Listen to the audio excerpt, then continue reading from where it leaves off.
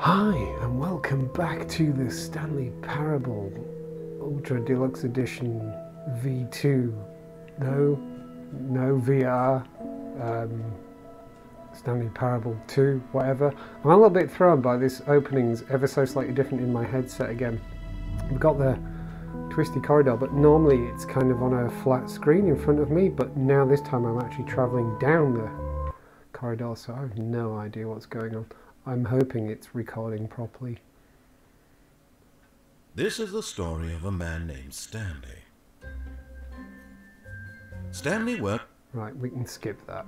I think we can skip that. I think we're okay skipping that at this point.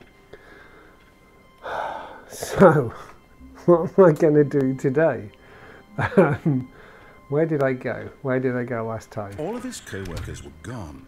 What could it mean? Stanley decided to go to the meeting room. Perhaps he had simply missed a memo. Bucket's still there, so let's take the bucket with us again. Stanley's arms. With the bucket in his arms again, he was home. Right, I'm still going to go. Stanley clutched the bucket tightly to his chest Yes. and entered the door on his left. To do that. I'm trying to remember what I haven't done, what route I haven't taken. So let's have a look. A large room, lots of boxes. Stairs, something to do with stairs. And somewhere both red and blue. I need to remember somewhere red and blue. I also realise that um, I was going to try and memorise the key code. I've forgotten what it is. 2458? I want to say it's 2458 or something like that. Coming to a staircase, Stanley and the bucket walked upstairs to the boss's office.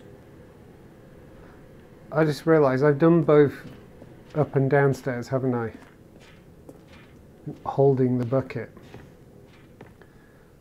So I should go through the right door. Let's follow this his through. manager's office, Stanley was once again stunned to discover not an indication of any human life. Crushed by the weight of this revelation, Stanley may have broken Two, down into an emotional dumpster fire, if not for the soothing. But Stanley guessed the go. correct code by sheer luck. was it that the bucket knew all along? Was the bucket guiding him? Yes, this is certainly the most logical explanation. There's a little gap there. I wonder if you can go down that gap.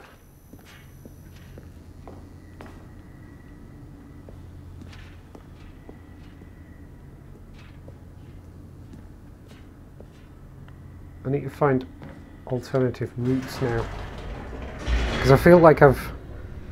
I sort of feel like I've actually used most of the main routes, but there's all this permutation thing going on, isn't there?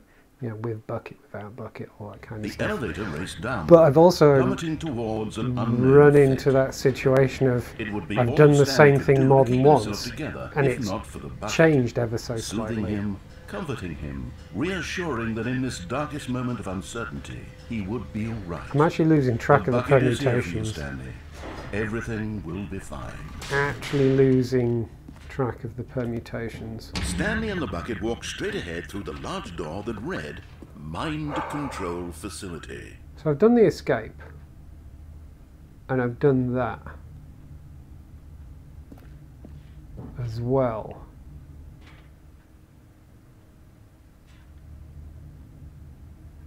Alright, I'm going to do the escape again. Just because I think I need to start taking the right door. Escape written on it. The truth was that at the end of this hall, Stanley and the bucket would both meet a violent death. Oh no, but that takes me through the thing with the female narrator, doesn't it? It's not a swift death. Oh. I'm really unsure now. Because what I haven't done is, while holding the bucket, come back and But of course, Stanley and the bucket thought better of it and realized they simply had too much to live for. exactly. I haven't actually done that before.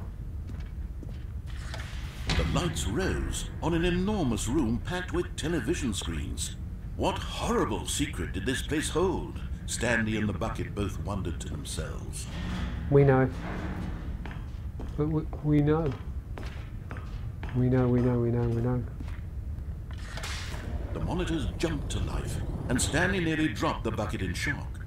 Everyone in the office was being videotaped, monitored like guinea pigs. Can't walk over the edge. The bucket had never seen anything like this, and it very nearly burst into tears as Stanley cradled it gently, reassuring it that everything would be fine.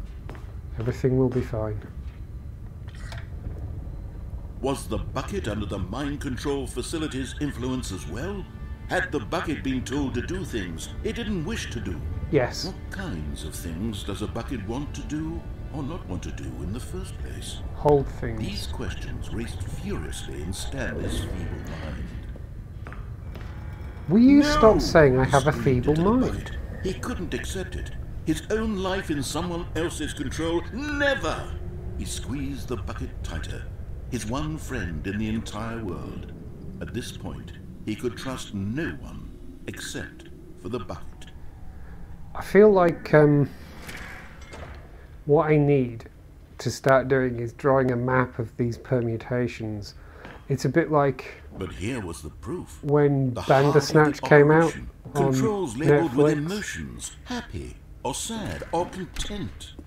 Walking, eating, working, all of it And I remember on from this very um. Reddit, I think it as was, there was a whole bunch of people were began to sink in, drawing maps Stanley of the different permutations. Would never again exert its terrible power over another take- human life. For he and the bucket would dismantle the controls for good. Two best friends, Stanley and the bucket, up against the world. They high-fived in a really cool way, Oh. and the bucket made a sassy comment about taking down the There's a system. there. There's a button up there. One, two.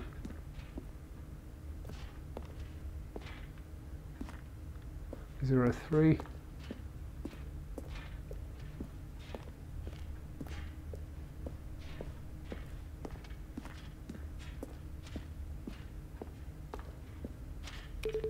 Three. There's a five. Where's a four? Is that four up there?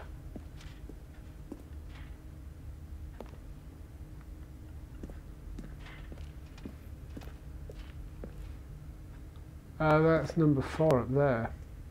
And I can't get through because that gate's closed. There's a gate right here. Arse.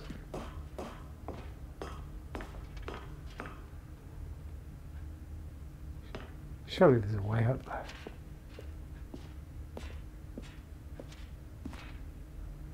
That's the thing I can't trust about this. Is there probably isn't, but it's probably making me feel like there is.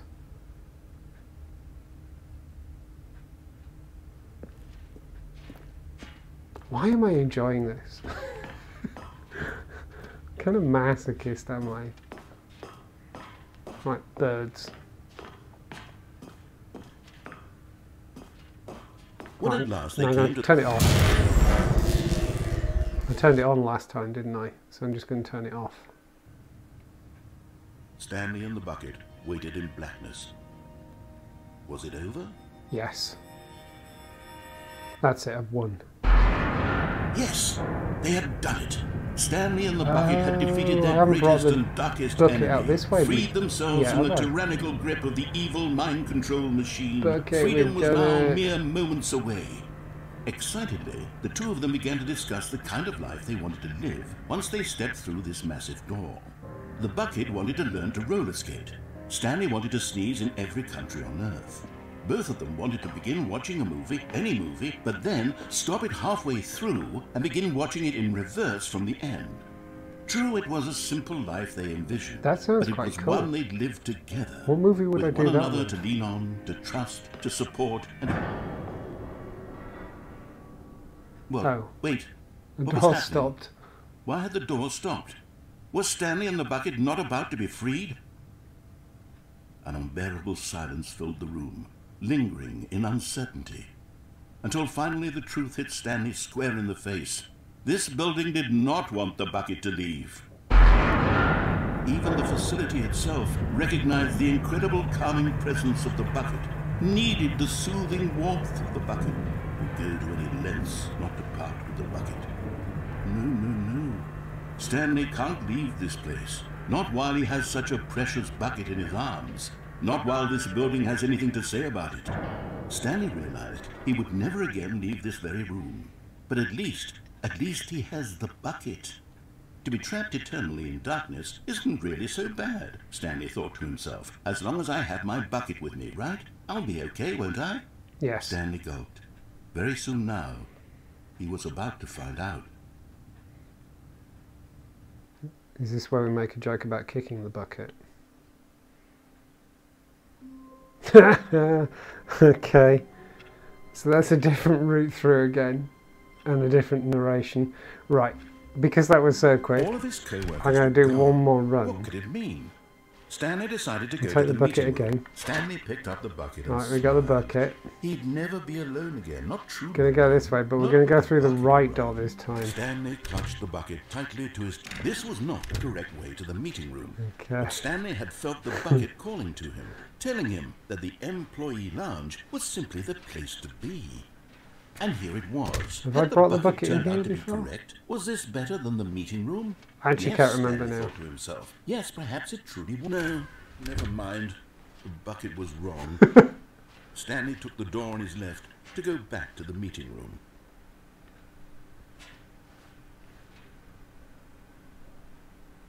I have kind of been here before because that's where I plummet to my death, isn't it? There's that thing about building the bridge there, so there's still that to do. But also, I need to find a room with lots of boxes. And so the two of them detoured through the maintenance section and walked straight ahead to the opposite door. That's the maintenance room. Uh, sorry, meeting room through there. So I don't want to go there. I want to go this way.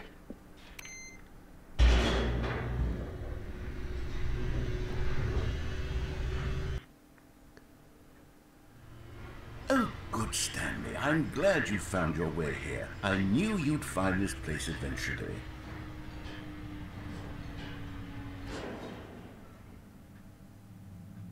That's new.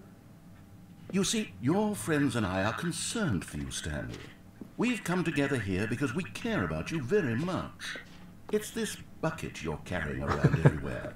The bucket isn't even from the original Stanley Parable. It's just sequel content. We're the ones that matter, Stanley. Classic characters from the first game, like the Adventure Line and the Broom Closet. Because like that's that what fans want from a sequel. They want more of their favorite jokes, not this bucket that they've never seen before. Yes, I know I'm the one who gave you the bucket, but you're spending too much time with it. Don't you want another story involving the Adventure Line? We could make the Adventure Line go somewhere new. Yes, yes, that's what the fans want. Let's do it.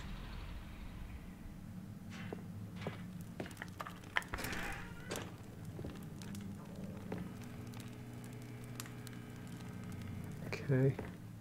Let's follow the adventure line. Look at that wacky line. Who knows where it'll go off to next? oh, and it played some silly music as well. Every time I think I've basically hit every variation on a theme. Major variation on a theme anyway. Now this is what the Throws Stanley me Parable is all something about. new. Don't you remember all those great jokes from the original dialogue? Also, Stanley is addicted to drugs and hookers. yes, it's as classic now as it was back then. Let's do it for the fans, Stanley. Let's give them more content exactly like this. But if we want to do that, you're going to have to give something up. No. No. I'm only doing this to try and get that extra figurine. Don't you get it, Stanley? We need to get rid of the bucket. That's why I'm very proud to introduce a brand new character. This is the Bucket, bucket. Destroyer. No. No. I think it'll make a wonderful new addition to the rich lore of the Stanley Parable. No, True, it also no, was no, not no, in the original no, game, but it's no, such a well fleshed out character with so much personality that to me it already feels as though it's been part of the cast all along. Don't you agree? Can you guess what the Bucket Destroyer does? Surely you don't need me to spell it out for you. Go ahead now, Stanley. Say goodbye to the bucket, and then pop it into the machine when you're ready. And turn it off. Quite well, let me turn now it off. listen to me.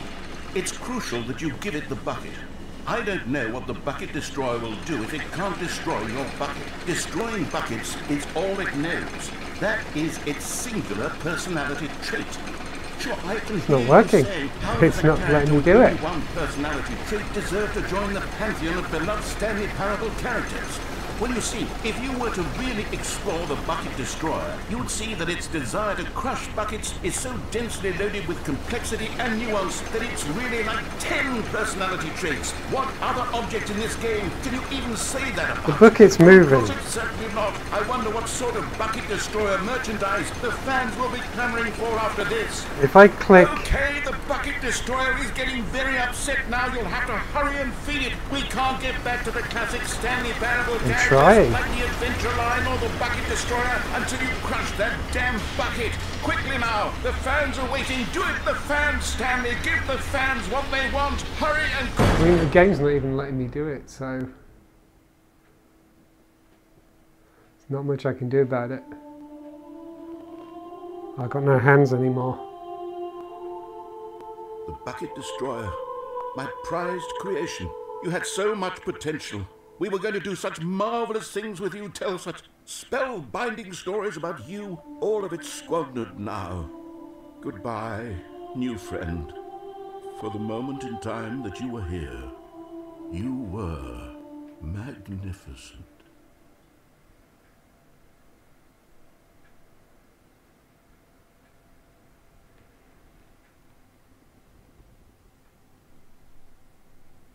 There was a big black square behind me.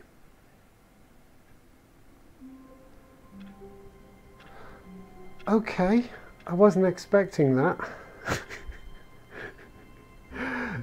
um, hmm. I'm I'm quite thrown by that because I really wasn't expecting it to be that incredibly different. I am so massively losing track of the routes through this, but I'm going to carry on trying to do the thing I've promised myself I'm going to do, which is not keep going, not cram this. I'm just going to do a little dip in. I did two runs this time because I realised that the one run I'd taken wasn't really going to be that fruitful, and that looked about right. So I think I'm going to leave it here and next time I'm going to explore the right door while holding the bucket a bit more. Because there is the thing of, should I be exploring all of those routes again without the bucket? Because the fact that we've got the new content in here, including the bucket on the plinth, if I ignore the bucket and go down some of the routes I've already been down before, is that different again? I... I'm also trying to decide, it's not that time yet, it really isn't that time yet, but I'm also trying to decide at what point do I accept I've run through this enough and have enough hours in this under my belt, having experienced enough novel situations, that it's worth me starting to look online and see if anyone has done things like produce a tree or a map or whatever of all the permutations and things like that, and to try and get a sense of, you know, like. I'm going to assume that there are there are a finite number of routes through this because unless there's some kind of ridiculous um, uh, AI, lang- you know, large language model, um, on the fly voice generation thing going on, which seems highly unlikely. Um, there's only going to be a finite amount of recording of voice acting will have happened. So presumably there are there can only be so many lines can be spoken, and if I take recorded spoken lines as a metric for how much of the game I have uncovered or how much of the content I've uncovered, it strikes me that there is a finite amount. There has to be a finite amount. And I don't know that I should be viewing it as how much of the dialogue have I caused to be played, but I am intrigued. I feel like there are a finite number of routes through this because of the finite amount of recorded spoken dialogue there must be, and like how far off it am I? I don't know how long I've been playing at this point. I I feel I'm maybe about three and a half, four hours in or something like that. It feels about right. Um, and allowing for moments like this where I'm just stood talking to myself. Um, I'm curious. I haven't even looked at um, how long to beat to see what the uh, times are on there regarding uncovering most of the routes or something like that. That must be a thing. Maybe I'll do that because I should be able to look at that without actually needing to spoil myself in any way, shape or form. Because the thing is, is I'm, I'm mostly expecting that there's no conclusion to this. It strikes me that there can't be, there won't be, there isn't going to be a conclusion to this. There won't be an end game, as it were. Um, but I imagine there has to be something in here where it does keep track of just how many paths have you gone down. And so someone must have worked out how many paths there are and how long on average it's going to take to uncover all of those paths. I'm hoping that maybe How Long to Beat has uh, that information in it. Maybe I should look at that because I, I can look at that without spoiling myself. That's, that's a thought, right? the more I play this, the more confused I am, and the more delighted I am, and the more annoyed I am that it's taken me this long to actually get around to playing it in any way, shape, or form. But I'm also kind of glad I left it 10 years to play it because here I am playing it in VR. And I feel like it's a special thing to experience this for the very first time in VR. Anyway, from this dip into the Stanley Parable Ultra Deluxe Edition, that's right, yeah, in VR. Thank you very much for watching, and goodbye.